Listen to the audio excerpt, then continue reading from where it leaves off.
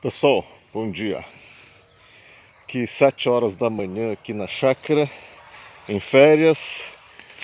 Mas aprove... ontem à tarde eu passei ali na rodovia do Contorno, na cidade de Marília, e lembrei de, uma, de, uns, de uns posts lá na rede social do Bambu, que tinha gente perguntando a qual espécie de bambu que dá na beira dos córregos, não sei o que, alguém falava assim, ah, não, toma cuidado que pode ser bambu cana brava, bambu cana do reino, bambu cana, sei lá, um monte de coisa, que é invasora, invasora tal. Aí depois de um bom tempo eu vi uma outra postagem lá de uma senhora perguntando, alguém sabe onde eu encontro o bambu cana do reino, que ela queria, diz que na infância dela, parece, ou parece que a avó fazia, fazia aquele canudo de creme, aquele cone de massa lá que frita tal, fazia a forma do canudo com bambu cana do reino. É mineira. E, e diz que estava procurando, porque ela queria fazer canudo e queria bambu cana do reino para justamente fazer a forminha dessas, desses canudinhos para fazer o doce. Aí alguém falou assim: ah, esse bambu aí é o Arundo donax, conhecido também como cana do reino e cana comum. Aí postou lá um link lá da internet. Aí eu lembrei, nossa, esse, esse, esse esse escapim aí tem na, na beira da rodovia do contorno, no quilômetro, não lembro que quilômetro. Até coloquei a quilometragem, acho que 354, né? a altura do posto Express, na cidade de Marília, no, na rodovia do contorno. Aí eu até é, puxei uma foto lá no, no Google Maps e tinha uma foto lá que saía nítido, uma moita desse Arundodonax com até com florido, com, com, com flores. Porque a característica, ele parece capim elefante, mas só que a folha dele, ó, a folha larga, parece parece folha de, de milho, porque a do capim elefante ela é fininha e comprida, não é larga, assim, larga e curta. Aí eu lembrei na, na, na minha infância lá, eu meu pai falava muito sobre essas coisas de, de agricultura tal eu falando sobre eu também era moleque mas gostava de, de coisas da, do campo. Aí falando de criar gado gado não em regime de pasto mas em confinamento no coxo tal aí meu pai falava olha aquele brejo lá Lá tem um capim lá, ele falava que era, chamava de capim camerun, mas capim camerun é, é, na prática capim elefante com outro nome. Não sei se tem uma diferença entre camerun e elefante. Ele falou, olha aquele capim lá, o capim camerun. A folha dele é igual um, o, o, a folha não, o, pé, o talo dele é igual um pé de milho. Aquilo lá deve ser bom para para para alimentar o gado no coxo. Tudo bem. Aí eu lembrei, lembrei desse capim, já tinha visto na rodovia aquele capim que o pai falava. E, e tudo bem. Aí eu lembrei, postei para essa senhora e eu fui olhar esse link aí que o colega, o colega postou lá. Aí fala sobre esse capim aqui, que é uma praga, que é invasora, que mais em, em, nos Estados Unidos, lá na Flórida, parece que plantaram para conter erosão e diz que cresce 4 centímetros por dia ou por hora, não sei, diz que super invasora tal. Eu vi que ali na, na rodovia do contorno também é meio invasora, mas tudo bem. Aí eu vi as utilidades dele.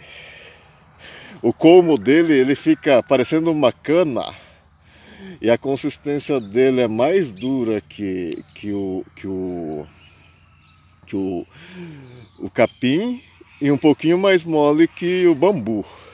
E, de fato, quando eu estava é, cavocando lá, tinha uns pedaços lá que não parecia capim, não, parecia bambu mesmo, uns pedaços seco lá, cortado. Aí eu falei, e, e diz que ele é muito útil para para fazer escoras de tomateiro. Diz que na Europa eles usam muito para escora, para escora. E aí eu falei, ah, vou plantar e para fonte de biomassa, para energia e para celulose. Tudo bem. Aí eu falei, ah, não, eu vou por mais que seja invasora, eu vou levar uma muda lá para testar lá e só que eu não vou deixar ele alastrar, né? Se sair flor eu vou, vou cortar, não vou deixar ele soltar sementes para não alastrar. Aí eu vi essa possibilidade, falei, vou, vou experimentar, já que eu tô eu, aqui na minha propriedade eu tenho coisas estranhas aqui que eu gosto de, de, de ver, né? Mas tudo bem. Aí eu fui ontem, encostei a caminhonete lá, na, nas pressas, só foi a única coisa que eu consegui arrancar lá. Eu vi que tinha raiz e gomo, sei lá, ah, não, eu vou, vou parar por aqui. Encostei a caminhonete lá numa rua paralela, é, exatamente atrás desse posto de abastecimento. Encostei, abri a caçamba, peguei um enxadão. Aí eu vi que tava todo mundo olhando para mim. Aí eu vi, era um ponto de descarte de aquele, é, aquele o pessoal assim mais mais assim falando ignorante, né? Descarta lixo, entulho naquele ponto lá. Já na hora quando encostei, estacionei a caminhão, não, abri a caçamba, já pensaram que eu ia descartar alguma coisa. Aí eu desci com o enxadão lá, comecei a cavucar e olhar assim a, a, a a muda aí, acho que eles falaram, não, não, esse cara tá catando muda de alguma coisa lá. Tudo bem. E, e, eu consegui cavucar isso daí só porque a terra, tá, embora tenha chovido ontem, eu consegui cavucar esse, esse tanto aí.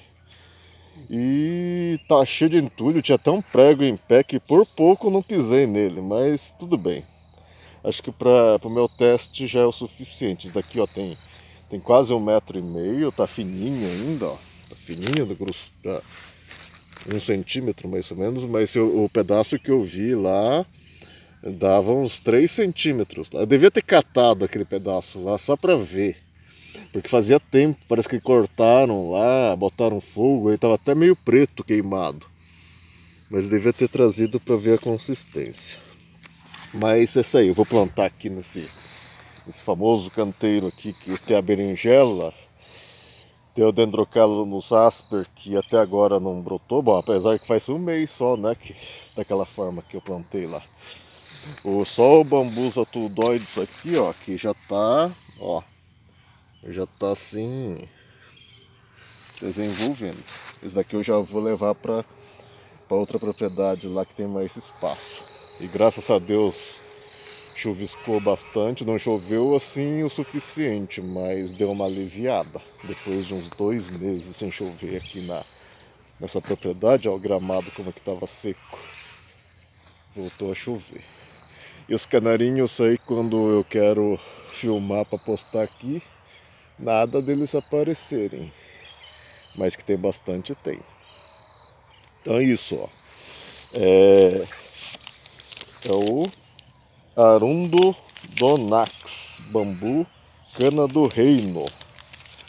Muito utilizado para biomassa, para geração de energia, para fabricação de celulose e escoras agrícolas de, de tomate, pimentões, tal. Justamente isso que eu, que eu quero, quero ver, porque se ele cresce muito rápido, talvez seja tenha alguma utilidade industrial, alguma utilidade seja mais, mais fácil de produzir que, que o bambu para escora. Eu, eu tô achando que ele serve. Ah, olhando no Wikipedia, eles falam de instrumentos de, de sopro também, flautas tal.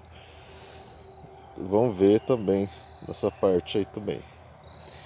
E e vou, vou, eu fiz, vou postar esse vídeo no meu canal no YouTube e colocar um link na rede social do Bambu, como sempre.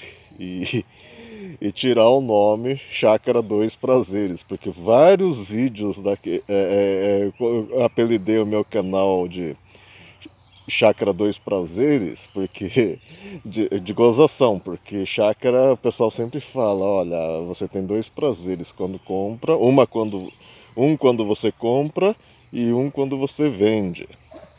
Então eu coloquei esse apelido aí, mas só que acho que o pessoal lê aquilo, parece chácara dos prazeres e entende que seja algum estabelece alguma chácara de que seja estabelecimento de entretenimento.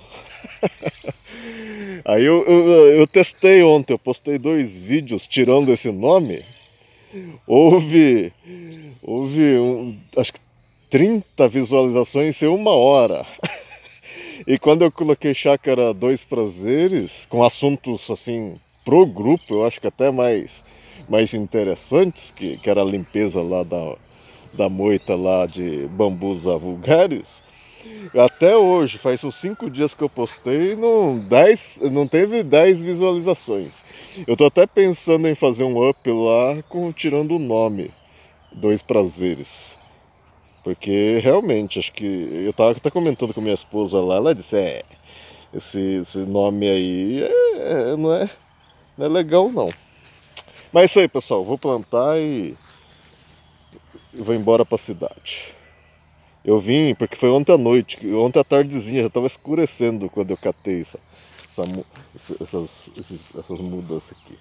Vou plantar e, e vou controlar ele bem aqui para ver o que acontece. É isso aí, pessoal. Até mais.